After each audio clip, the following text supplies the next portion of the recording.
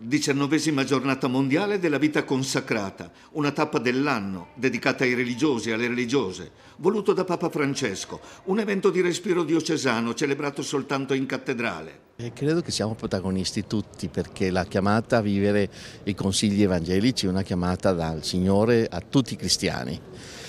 Mm, alcuni durante la storia della comunità cristiana hanno deciso di vivere di maniera approfondita, dedicata completamente eh, la forma di eh, esprimere questi consigli evangelici, ma i consigli evangelici sono una chiamata come stile di vita per tutti i cristiani. Abbiamo ricevuto un grande dono, personalmente perché ogni persona consacrata ha ricevuto questo dono dal Signore, ma diventa poi di conseguenza un dono alla Chiesa però diventa un dono se noi corrispondiamo, perché è un dono se tu dai qualcosa in cambio e questo il Signore ci ha amato e noi lo amiamo attraverso la nostra consacrazione, la nostra dedizione a Dio e agli altri. La giornata coincide con la festa della Candelora la benedizione delle candele, simbolo di Cristo, luce per illuminare le genti, e in cattedrale, prima della messa, presieduta dal vescovo, la liturgia della luce all'altare della Madonna del Popolo, poi la processione lungo le navate del Tempio con le candele accese.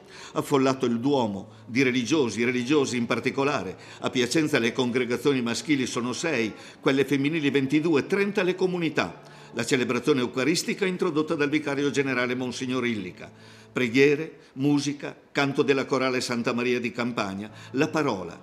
Il celebrante vi invito, ha detto, a stringervi con affetto alle persone consacrate. Ringraziamo il Signore della loro presenza, un dono prezioso per la comunità. Nell'omelia ha completato le parole chiave del Papa. Svegliate il mondo, illuminatelo con la vostra testimonianza, ha continuato. Siate gioiosi, siate coraggiosi, siate uomini e donne di comunione. Andate per le strade del mondo, l'invito del Papa, e prima di lui i fondatori delle congregazioni, diverse per scelta, i malati, gli anziani, i bambini, l'educazione, la formazione scolastica. Religiosi e religiose sono un piccolo esercito anche sulle nostre strade, sicuramente degni di rispetto, di attenzione, di gratitudine.